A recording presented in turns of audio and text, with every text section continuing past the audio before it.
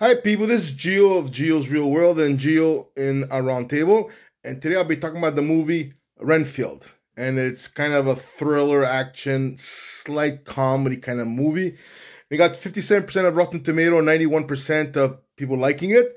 I myself, I mean, I'll give it a pass. I'll be, I'll be in the 60s, 70s, not, not even, I won't go and say no. I'll be in the 60s, okay? So I'm, I'm again agreeing with the Rotten Tomato.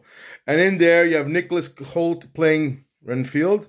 Then you have Awkwafina playing Rebecca. And then there's Nicolas Cage playing Dracula. Now, this movie is almost, to me, I, I find it's like James Bond with Blade kind of sense, you know? Which is you don't take it too seriously because like James Bond, because a lot of things doesn't make sense and everything.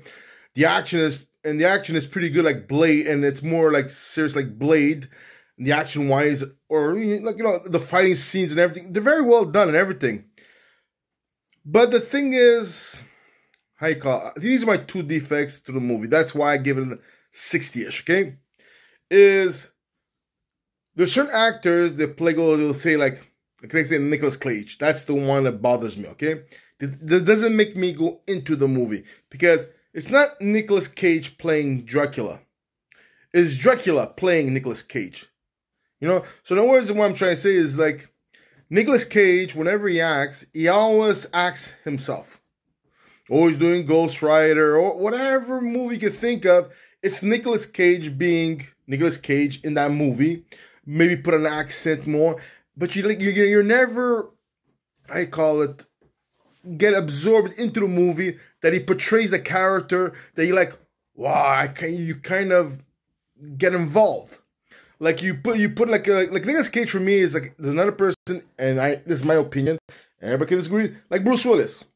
Any movie he does it's Bruce Willis playing Bruce Willis character kind of sense. So you never so in in the he always acts the same. He's his own his, his, his gestures and everything. They're not like people like uh, like Denzel Washington. You have Brad Pitt. Uh, these are guys when they pull a uh, they do, they do a personality. They change. They change completely.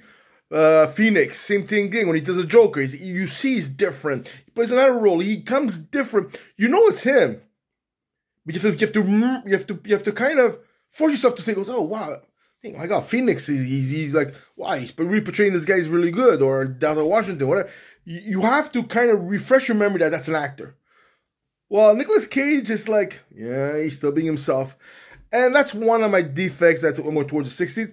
And two, and this one of the this is probably another four or five movies I've been watching it, that you see when the action flick starts starts happening, okay?